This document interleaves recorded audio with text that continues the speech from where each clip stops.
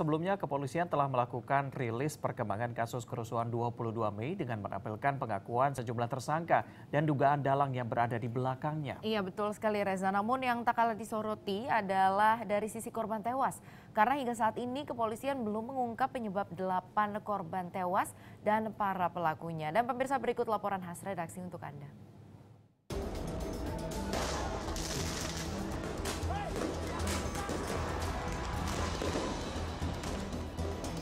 Jakarta, 21 hingga 22 Mei, tepatnya di kawasan Tanah Abang hingga Jalan Tamrin, membara.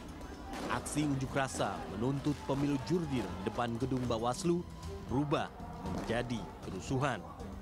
Sejumlah demonstran terlibat bentrok dengan aparat dan sebagian lain melakukan tindakan anarkis.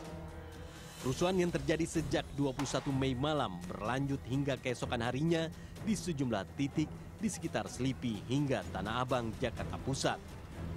Tak hanya kerugian material, korban pun berjatuhan dari kedua belah pihak, yakni polisi maupun para demonstran. Dinas DKI Jakarta hingga 24 Mei 2019 mencatat 8 orang meninggal dunia dan 897 orang luka-luka akibat kerusuhan 21 hingga 22 Mei di Jakarta. Salah satu rumah sakit yang menangani korban kerusuhan, yakni Rumah Sakit Budi Kemuliaan Jakarta Pusat, menyebut korban bernama Farhan warga Grogol, Depok, Jawa Barat, tewas akibat terkena peluru di bagian dada. Meninggalnya karena ada luka tembak tembus ke, ke belakang dari ke tembus ke belakang skapula belakang mungkin mengenai paru-paru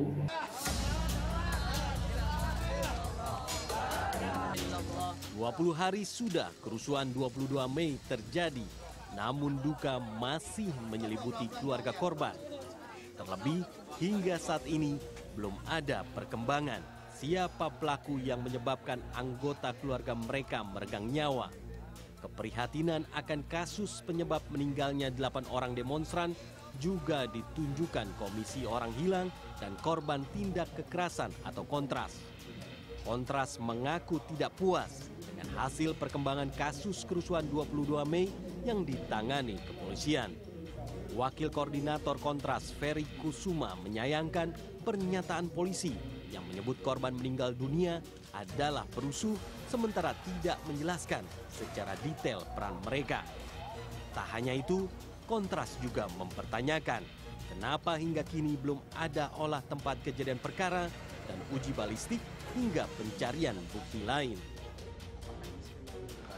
Nah, untuk mengurai ini itu hanya bisa dilakukan lewat tim gabungan pencari fakta itu untuk menemukan tentang peristiwa yang benar itu seperti apa. Siapa yang berperan untuk apa? Kalau kontras melihat ini ada dugaan pelanggaran HAM yang berat. Kalau kita lihat peristiwanya terencana, ya kan? Chaos ini kan direncanakan ya, ya kan? Kemudian terjadi sangat sistematis. Ada banyak aktor yang terlibat. Menanggapi pertanyaan sejumlah pihak soal perkembangan kasus tewasnya delapan demonstran dalam kerusuhan 22 Mei, pihak kepolisian sendiri mengaku terkendala dengan TKP korban tewas yang masih misterius. Polisi hingga saat ini masih mencari titik lokasi awal korban terkena tembakan. Tidak secara keseluruhan juga kita mengetahui di mana TKP terjadinya hal yang menyebabkan meninggal dunia tersebut.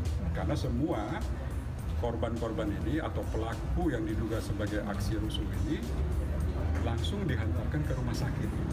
Jadi kita harus menelusuri kembali di mana korban-korban itu jatuh saat kemudian lalu meninggal dunia.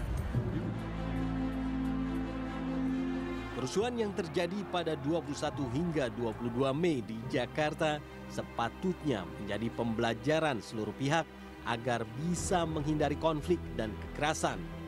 Kerugian material mungkin bisa dihitung, namun bagi keluarga yang ditinggalkan, nyawa sanak keluarga mereka tak akan bisa tergantikan.